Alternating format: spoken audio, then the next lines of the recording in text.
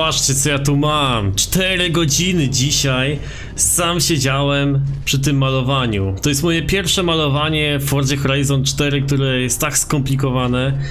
I naprawdę długo mi zajęło zrobienie jego dzisiaj. Specjalnie dla ciebie, Budda, zobacz. Twoja najnowsza BMK, twoje najnowsze dzieło. Jak rozwalisz już wszystkie samochody w rzeczywistości, wbijaj do Fordzy, malowanie twojej BMK już na ciebie czeka. Turbo Works.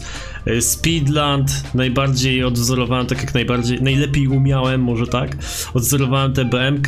Ona jeszcze nie jest tunigowana pod względem mocy, zaraz sobie to zrobimy. Możecie sobie obejrzeć na dodatkowym materiale y, timelapse z budowania tego samochodu, z oklejania tego samochodu. Wiadomo, że nie jest jeden do jednego, nie widziałem tego samochodu w rzeczywistości, a jedynie na nagraniu Buddy. Swoją drogą nie wiedziałem, że Budda to jest taki kozak, jeśli chodzi o drifting. Ja tak patrzę, tam w pewnym momencie jedzie jakiś kierowca w kasku, zajebiście driftuje, leci bokiem. A potem patrzę, że Budda zajebiście lata. Ja nie wiedziałem, że on jest taki kozak, kurde. Ziom. Nie wiedziałem, że ty tak fajnie latasz. Naprawdę. Zajebista sprawa. Tutaj masz BMW, tak jak mówię, jak rozwalisz wszystkie swoje samochody, możesz wbić do Forza Horizon 4 i sobie tutaj popróbować driftowanie. Fajna giera do driftowania, jak jeszcze, jak jeszcze jej nie znasz, jeszcze nie poznałeś, jeszcze nie grałeś, to zdecydowanie ci polecam. Dlaczego wybrałem tą BMW Buddy? Dlatego, że większość youtuberów to co, mają te samochody stokowe, no nie mają takich fajnych malowań jak tutaj. Tutaj mamy BMW E46 y, w tej wersji z 450 koni mechanicznych, tak jak teraz sobie patrzyłem na jego filmie i ileś tam newtonometrów. I właśnie y, lubię odzorowywać te samochody pod kątem właśnie tego, żeby miały dokładnie taką moc jak w rzeczywistości, ale w tej grze trzeba dodać jeszcze tak z 300 koni mechanicznych, żeby ten samochód w ogóle driftował. Ona jest tak zbudowana. Niemniej spróbujemy sobie e, podliftować na tych 450 koniach mechanicznych. Powinniśmy móc spokojnie uzyskać taką moc e, na standardowym silniku. Dodatkowo damy sobie tutaj klatkę bezpieczeństwa, usztywnimy wszystko. E, Nie dooglądałem chyba, nie wiem jaka waga dokładnie jest tego samochodu, mm, driftowozu. W każdym razie kozacko wygląda ta BMK i w dodatku mamy tyle szczęścia, że w Forzie Horizon mamy dokładnie ten sam body kit co e, ma Budda, więc panowie z Turbo Works stuningowali mu, przerobili mu tak BMW, jak mamy tu w Fordzie, jest to oficjalny bodykit Rocket Bunny. Jeśli chcecie sobie wyszukać to malowanie, to wpiszcie po prostu, wybierzcie sobie ten samochód i wpiszcie w wyszukiwarce w opisie Budda, jak będziecie wyszukiwać wyszu malowanie do tego samochodu i wyskoczy wam to. Ja wiem, że ono może nie być idealne, ale myślę, że jest na tyle zbliżone, że no, no, będziecie mogli w miarę poczuć się jak Budda za sterami tego BMW. Mm, I pojedziemy sobie jeszcze na tuning i tak samo udostępnię wam tuning mój taki na kierownicę do tego samochodu, żebyście mogli sobie od razu śmigać. Trochę to zajmie zanim ten samochód dostosuję, bo jednak, no tak jak mówię, 450 koni mechanicznych to może być trochę mało na tą Fordzę. Na pewno nie jest to mało w rzeczywistości jeszcze dla samochodu odciążonego, ale tutaj w Fordzie no może być to jednak trochę za mało do fajnego driftu. Więc tak, nie będziemy robić tutaj słapa, chociaż ten standardowy silnik nie brzmi najlepiej w tej grze. W rzeczywistości na pewno jest dużo, dużo lepiej. E, Spróbujemy sobie najpierw em, zboostować most. Mamy tutaj 333 konie mechaniczne. O, mamy. Jest dokładnie 450 koni mechanicznych. Momentu obrotowego już patrzę, nie wiem, tak? 600 Nm. Ja tutaj mam inne. 600 Nm, wciul dużo, kurde. Tutaj mam yy, inną jednostkę. Musiałbym sobie zmienić na mm, jednostki metryczne, żeby mi się pokazało w newtonometrach. No ale powiedzmy, że konie mechaniczne są odwzorowane, więc w porządku. Tutaj już załadowałem sobie zawieszenie do driftu, dzięki czemu w tej grze mamy zwiększony kąt y, skrętu przednich kół, jeśli mamy takie zawieszenie zainstalowane. No i musimy sobie te wszystkie bajerki poinstalować. No powiem wam, mam spore zastrzeżenia, spore obawy co do tego, że ten samochód będzie driftował przy tej mocy. Myślę, że będzie ciężko nawet teraz w zimie. Mm, Tutaj bardzo długo też wybierałem felgi do tego auta. Chciałem jak najbardziej odwzorować y, BMW Buddy, no ale nie ma dokładnie takich felg. Są mniej więcej takie, tak, no, takie felgi są najbardziej zbliżone. Nie dawałem tutaj maksymalnego calu, bo oczywiście możemy dać też większe, ale te są najbardziej zbliżone do tych rzeczywistych. Zobaczmy co nam wyszło.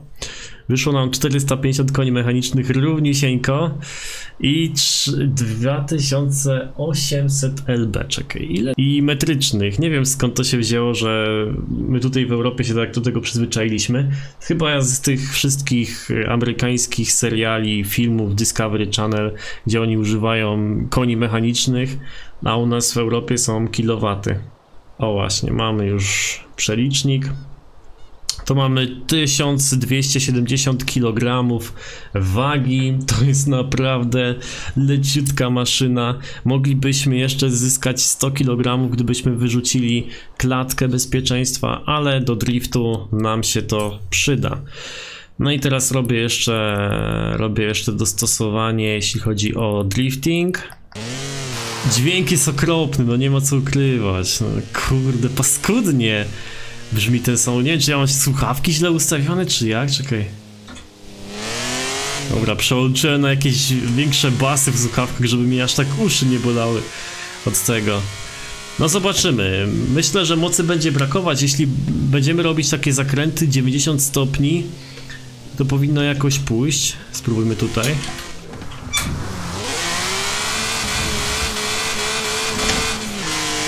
Ale jak już będziemy próbować robić zakręty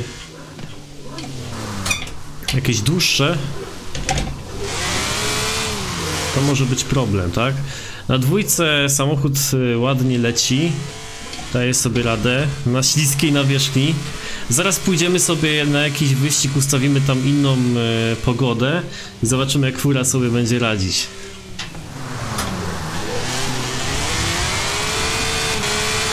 Ja wiem, że Budda to jest wariat, on to by wolał, żeby w furze było z 900 koni mechanicznych do driftu.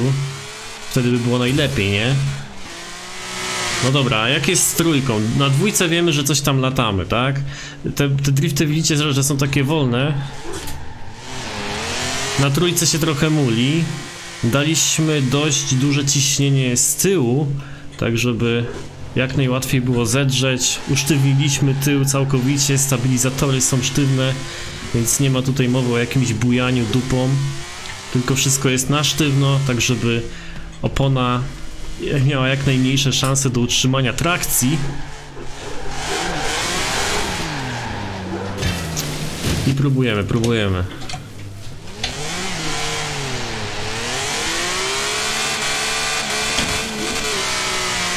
Ja nie wiem właśnie w jakiej wadze Buddha mam. Jakby chyba nie mówił tego na nagraniu. W jakiej wadze jest samochód? Kurde. Zrobimy oczywiście też standardowo test ronda. Zobaczymy jak bardzo łatwo, czy w ogóle da się kręcić tym bączki.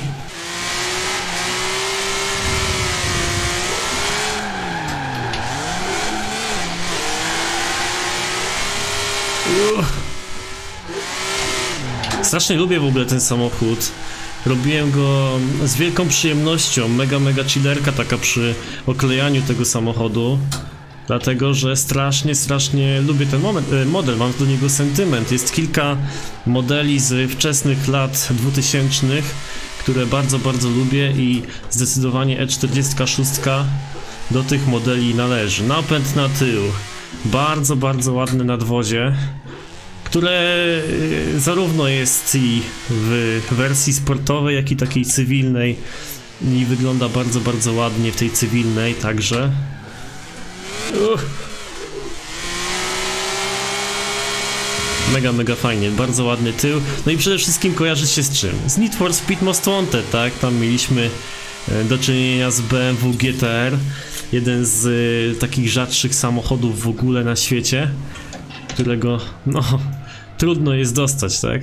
Zobaczcie jak te drifty wyglądają, tak? No, nie jeździmy jakąś ogromną prędkością, nie są one tak efektowne. jak drifty w tej grze z samochodem, który ma gdzieś tam w okolicach 600 koni mechanicznych. Z drugiej strony mamy tutaj 1200 kg wagi i no właśnie, tylko te 450 koni mechanicznych, a auto jakoś tam lata i wcale nie jest tak źle jak się spodziewałem. Spodziewałem się czegoś dużo gorszego, że mm, w ogóle nie będę mógł wprowadzić auta w poślizg. Że będzie spory problem przy tej mocy. Może trochę pomaga mi właśnie ta śliska nawierzchnia, nie jestem pewny. Ale zaraz weźmiemy sobie, tak jak mówiłem, wyścig. Bez śniegu. W jakąś jesień albo wiosnę, czy, czy lato. Wtedy doznania z tej jazdy będą inne, nie? Z tego driftowania, bo będzie dym! Będą dymy! O, już takie tutaj długie zakręty, no to już jest słabizna, no furka sobie na pewno z tym nie poradzi. Tak się samochód prezentuje podczas ekranu wczytywania. To jest tak naprawdę mój debiut, jeśli chodzi o malowanie samochodów, czy tam naklejanie, oklejanie samochodów i mi się podoba to, bo oczywiście bym wam tego nie pokazywał, gdyby mi się nie podobało. Podoba mi się to malowanie, to oklejenie, ale no jestem świadomy, że jestem jakby początkujący w tym temacie i nie do końca może to wyglądać, nie? Według sztuk, sztuki kleślarskiej. Dobra, poczekam aż oni sobie przejadą, niż, niech boty sobie przejadą, a my zobaczymy jak wygląda driftowanie. Ojej, jak z trójki driftowóz nie może ruszyć w tej grze, no to jest trochę słabo. Ale próbujemy.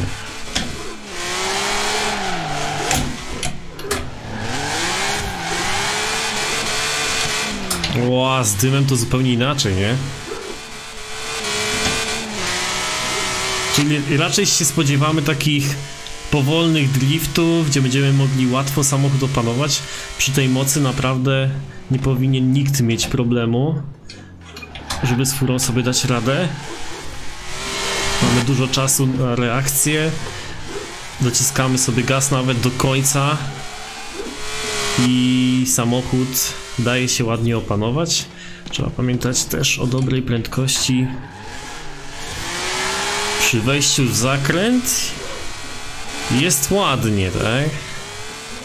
Nie da się jechać tak ciągłym driftem, powiedzmy po prostej drodze, ale tak okresowo, dojeżdżając sobie do zakrętu, odpowiednio się ustawiamy.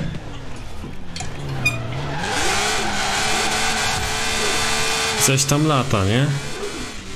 Ja mamy już E46 e zrobioną pod drift, tylko że oczywiście w innym malowaniu i jest kozakiem totalnym. Zresztą E36 też świetnie driftuje. W ogóle te BM... Y, nie wszystkie BMki ładnie driftują, ale te akurat starsze bardzo fajnie. Poza może M5. M5 nie udało mi się jeszcze okiełznać.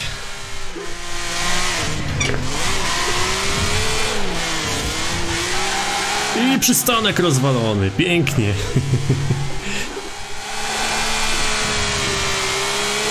Jest w porządku, kurde. Spodziewałem się dużo gorszego driftowania przy tej mocy.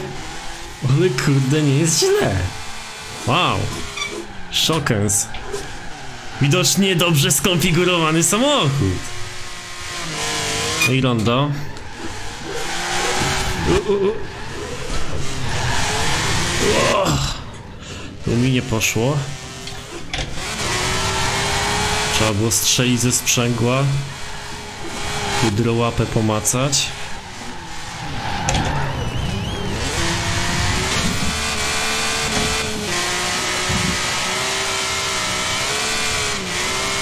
Jest w ogóle zajebiste, nie? Że możemy w grze sobie wzorować jakiś tam y, wymyślony totalnie samochód przez kogoś, jego malowanie.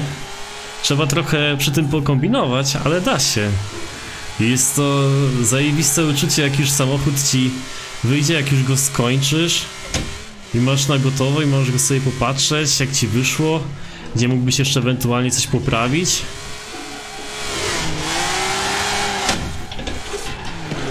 Podejrzewam, że Budda ma standardowy silnik w aucie, chociaż łba sobie urwać nie dam, no bo przecież nic na ten temat w filmie nie mówił.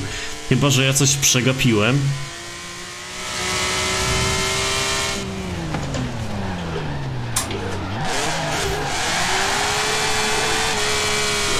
Dobra, zrobimy tak. Udostępnię wam ten tuning samochodu, żebyście sobie mieli i byście mogli pojeździć na, standard, na standardowym silniku, na standardowej mocy przy wadze z 1200 kg. Ale dla hardkorowców zrobimy sobie jeszcze specjalny tuning, gdzie załadujemy V8, bo bodajże tu się da załadować jakąś V8 żeby samochód lepiej brzmiał. Tak można powiedzieć, że w stylu polskim. Jeśli się da, to zostaniemy przy mocy 450 koni mechanicznych, ale totalnie zmienimy brzmienie auta. I tutaj Wam zapisuję Save Setup i udostępniam, żebyście mieli mm, do tego samochodu do driftingu, tak? Czyli ustawiamy tutaj drift, best for handling i Buddha. Zrobimy inną rzecz, czyli spróbujemy samochód zrobić w tej samej mocy, jeśli się da, ale zmienimy mu silnik na V8, czyli robimy swapa. Mamy 4-litrową V8, Mieliśmy 1200 coś, mamy 1300 coś. 1319 mamy teraz wagi. No więc powinno być gorzej, samochód powinien gorzej latać. Chociaż niekoniecznie. Ten silnik jest y, o większej pojemności zdaje się. Jest cięższy.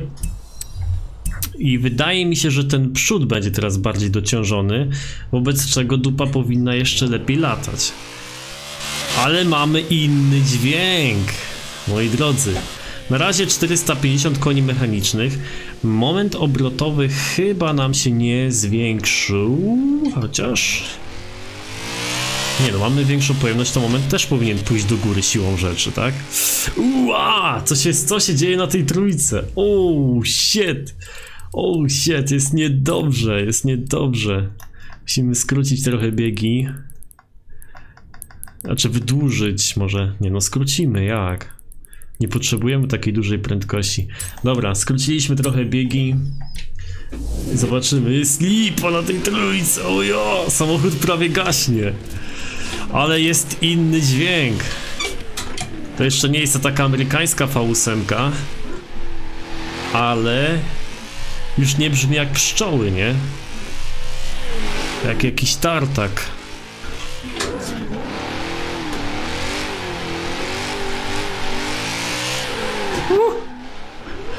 I nawet da się obrócić duperą.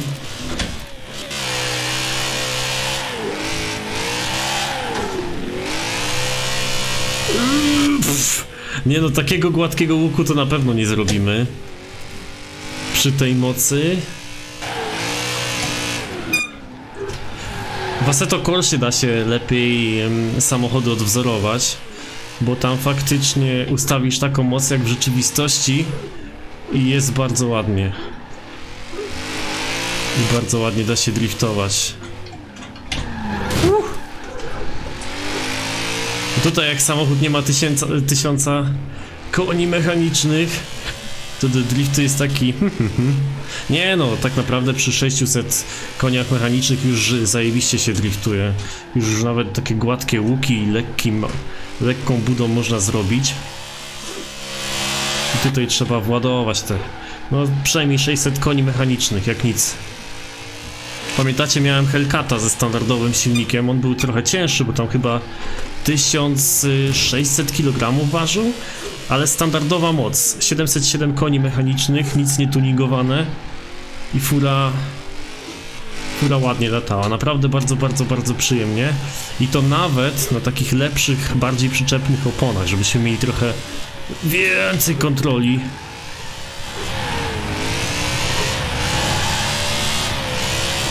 Ale rondo robi. Skubaniec rondo robi. Trochę dohamujemy. Jak będziemy jechać za szybko, to już nie ukręci. Już nie będzie chciał rotować przy większej prędkości. Dobra, i teraz tutaj. Uff.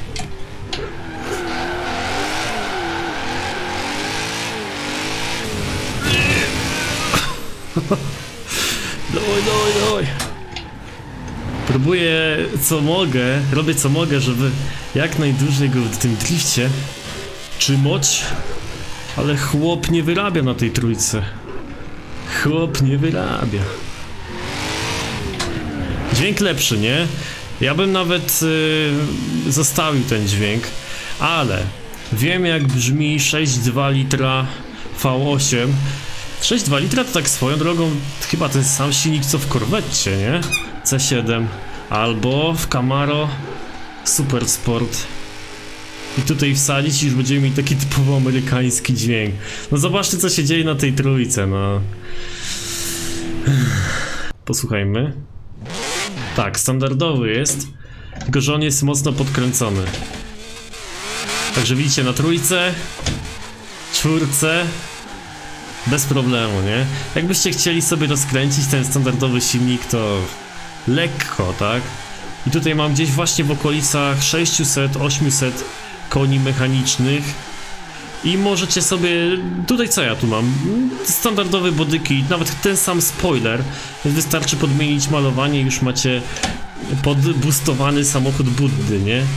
Podejrzewam, że wielu z was też robi te BMki do driftu, bo one są po prostu w tej grze fantastyczne do driftowania i tak naprawdę chyba tylko do tego się nadają. Można się nimi trochę pościgać, ale... Ale chyba drifting to drifting, nie? Także tak, jak najbardziej, 46 da się świetnie zrobić do driftu. Ja tutaj y, próbowałem odwzorować samochód Buddy, żeby jak najbardziej mm, być adekwatnym do tego, co jest w rzeczywistości. Aczkolwiek najbardziej chciałem wam pokazać to malowanie, że zrobiłem je sam od podstaw. Przeważnie jak robiliśmy jakieś autka youtuberów, to brałem malowania od kogoś, kto już stworzył, na przykład jakiś fan tej osoby w grze tutaj, stworzył już takie malowanie, to sobie pożyczałem. Teraz zrobiłem wszystko sam od podstaw i jestem zadowolony. Nie jest idealne, ale możecie przetestować. Pamiętajcie, jeśli chcecie sobie je pobrać, to wpisujecie, zresztą wam pokażę, wchodzicie sobie do garażu, wybieracie, o wezmę sobie na przykład tą drugą BMK, wybieracie swój samochód, możecie go kupić na aukcjach za 5 milionów, bo jego nie można kupić w, tak normalnie, nie? No i na przykład find new design, nie wiem, czy tutaj będzie. Podejrzewam, że raczej nie będzie tego malowania w rekomendowanych. Mm, bardzo dużo osób robi malowania do tej BM-ki, więc tutaj. E, o! Jednak jest. Proszę bardzo. Ale gdyby nie było u Was tutaj w rekomendowanych, to możecie sobie wpisać tak. E, obecny samochód i w opisie wpisujecie Buddha. Wpisujecie Buddha i macie malowanie to moje, tak? Zawsze wam wyskoczy. 8 osób już pobrało na obecną chwilę. Zobaczymy jak będzie za tydzień. Pobieracie sobie i macie sklonowany samochód. Macie sklonowane malowanie. Mm, Długo się pobiera, bo naprawdę jest mega, mega dużo warstw. Tutaj nie możemy chyba otworzyć za dużo. Można zobaczyć sobie do środka. No, my ten samochód, ja ten samochód sobie odciążyłem tutaj totalnie, ale mimo wszystko ma te, wiecie, wszystkie deski rozdzielcze, te wszystkie tam mieszki, nie mieszki, e, fotele z tyłu, tak, w rzeczywistości samochód Buddy jest całkowicie odciążony i to ewidentnie widać, po prostu jest sama klatka bezpieczeństwa i chyba nawet ściągalny e, fotel pasażera, nie no, śmieję się, może jest ściągalny, może nie, wszystko jest ściągalne, ale tak mm, podejrzewam, że wszystko jest wyciągnięte tutaj ze środka, nawet chyba ma kierownicę drifterską, a nie taką z poduszką powietrzną, prawda? Tak to wygląda tu, ale tam jest wszystko i hydrołapa, jest no wiadomo, samochód całkowicie zmieniony. Zostały tylko bebechy, przełożenie napędu, podejrzewam, może nawet skrzynia zmieniona, nie mam pojęcia co oni tam zrobili mm, z tym samochodem. Aha, tutaj jeszcze jest stara rejestracja, widzieliście, że na na tym moim nowym malowaniu będzie już ładniejsza, bo ją dzisiaj przed chwilą, przed tym nagraniem poprawiłem, więc już będzie tablica moi drodzy, taka, nie? Już taka ładniejsza. Dzisiaj ją trochę dopracowałem. Polska tablica. Elegancko. No i to tyle. Samochód Buddy zrobiliśmy. Chyba wyczerpałem temat. Yy, możecie sobie sprawdzić moje tuningi tutaj do tych samochodów, do tego samochodu. Yy, Mi się tym samochodem bardzo fajnie driftuje, chociaż yy, na plus raczej w kierunku E36, którą jeszcze lepiej się driftuje, lepiej mi jest opanować, chociaż tą naprawdę bardzo, bardzo ładnie. Mogłaby troszeczkę lepiej brzmieć, nie? Ta M3. A poza tym spoko. No, fajnie, że mamy takich zapaleńców wśród polskich youtuberów, którzy tuningują sobie tak fajnie autka i driftują i bawią się nimi, nie? To możemy też w grze dodatkowo to wykorzystać i też się bawić razem z nimi na swój sposób. Trzymajcie się i do zobaczenia następnym razem. Hejas!